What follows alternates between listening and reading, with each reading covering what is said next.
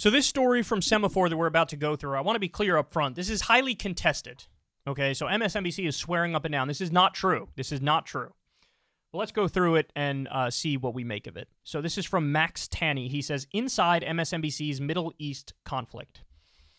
MSNBC has quietly taken three of its Muslim broadcasters out of the anchor's chair since Hamas's attack on Israel last Saturday amid America's wave of sympathy for Israeli terror victims.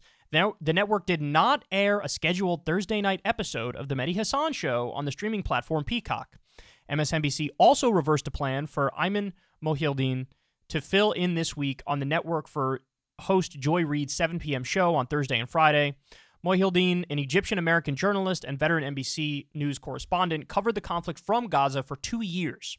In 2021, he aggressively questioned Israeli leaders on strikes on the territory. Two network sources with knowledge of the plans told Semafor that the network also plans to have Alicia Menendez, who, by the way, is, I believe, the granddaughter of Robert Menendez, Gold Bar Bob, the most corrupt Democrat in the country, fill in this upcoming week for Ali Velshi, a third Muslim American host who on Sunday interviewed a spokesman for the Palestinian Authority.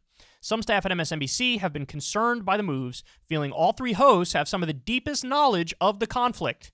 NBC says the shifts are coincidental, and the three continue to appear on air to report and provide analysis. A company official vehemently pushed back against any notion that either Hasan or Mohyeldin were being sidelined in any way.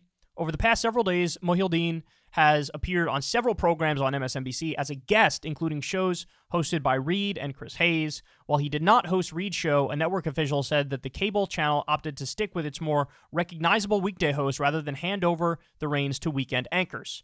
Hasan's Peacock show is taped, and the network official said his show was shelved in favor of keeping coverage on the NBC streaming service more up to date. The fact of the matter is this when it comes to these guys. Um, they really do have the best knowledge on this issue. They really do. Like they said, um, Mohyeldin was on the ground in um, in Gaza doing reporting for a very long time. Mehdi Hasan knows the conflict inside and out. Ali Velshi knows the conflict inside and out. Uh, they have been more sympathetic to Palestinians than almost any other voice, certainly on the network. Um, now, let me show you this as well. So, this is Max Tani, the journalist for Semafor. He says MSNBC has quietly taken three of its Muslim broadcasters out of the anchor's chair since Hamas's attack on Israel. Uh, my story and this, plus internal tension among NBCU staff over how to talk about last week's attack and what's going on in Gaza. So, the community, I want to give you the community note because this is important too. They say MSNBC vehemently denies suspending its anchors, even when contacted by Tani. Ali Velshi is traveling back from Israel, where he's been reporting. Um, and then you have, I guess, a comment here from Ayman. So, what's actually going on? Well, the piece to me that's most concerning is, you know, the claim is Mehdi had already recorded a show and they shelved it. They've never done that before. They've never done that before. So I find that very strange. Um, they were going to have it so one of the hosts fills in and then they said, no, let's not go with him. Let's go with somebody else. Now they're claiming we wanted somebody who was more recognizable, but he's been on air on the weekends for a really long time. And I don't know, that's also questionable. If he was originally supposed to be the person who's going to fill in, and then they decide, we're going to go ahead and not go with you.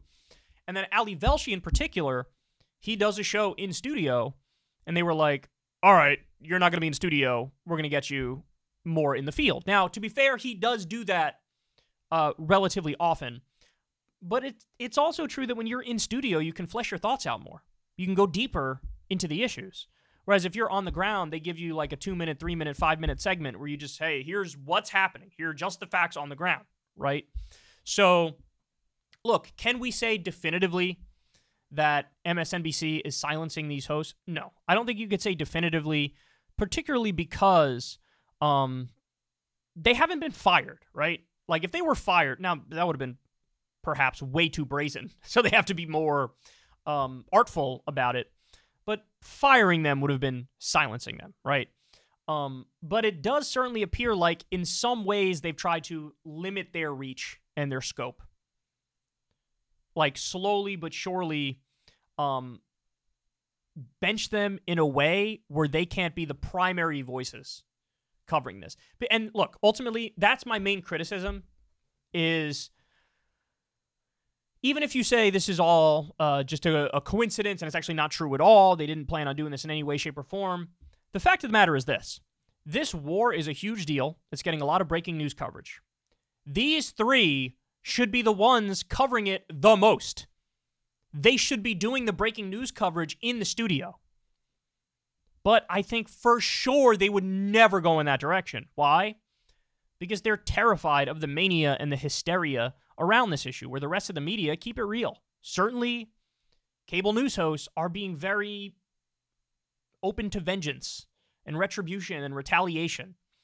And um, there's not as much of a concern for Palestinians. There's just not. There's just not. To be fair, print media has done a phenomenal job for the most part, with some exceptions. Uh, but TV news has been horrible. And uh, look, these three hosts should honestly be getting uh, a promotion at a time like this because they do have the best knowledge of the situation, and it's not even close. And I also think they're they're good hosts. Mehdi Hasan is is a great interviewer, and he uh, really is good at debating. Uh, Ali Velshi is a good on air presence. Um, nobody knows more than Ayman, Ayman, however you say his name, Mohyeldin. Nobody knows more than him on this issue. So, what I would say is, in a world that made sense, they'd be getting a promotion right now. They'd be they'd be on air most of the time. But instead, if anything, their roles have been reduced. And the final point I'll make is this, guys, understand there was a bunch of outrage over um what Iman said the other day. Was it Ayman? I think was it him or Ali Velshi? I think it was I think it was Iman. He um he gave a really long, detailed, thought out like here's how we got to where we are analysis after the Hamas terror attack. And a lot of people were triggered by what he said. They felt like he was saying it wasn't a terror attack or it wasn't bad or it wasn't condemnable. He didn't say any of those things. He said, look, one of the main reasons we got to this point is the failed policies of the Israeli government. And that is a much more mild claim than saying, oh, Hamas did nothing wrong. Of course he doesn't believe that. And he never said that. His point about Israeli policy, I think, is undeniably true. But it's one of the things that if you say in the moment, people get really triggered by it. And so there was like a Mediaite article that was like, you know, saying he said something he didn't say, and then you watch the full th- clip in context, and you're like, that actually was perfectly reasonable. And it is possible that MSNBC executives saw the Mediaite piece where people were attacking uh, Ayman, and then he was like benched as a result of that, right? So it is possible. There was like a timeline of events here where they may have been afraid of somebody not sufficiently being rah rah Israel on air. So, look, either way, bad moves from the network, whether this story is true or not true, whether they slightly reduce their roles uh, or they're totally bench them or whatever. Doesn't matter. Bottom line is they should be the ones who are on air leading the coverage because they're the most knowledgeable. But right now, knowledge is not what the network's looking for. They're looking for cheerleaders for the Israeli government, even at a time when they are doing massive collective punishment against innocent civilians, which is taking a page out of Hamas's playbook. Hey, y'all, do me a favor and like and subscribe. It helps out big time in the algorithm. Click the bell as well for notifications when videos drop, and watch that video on screen right now. You know you want to.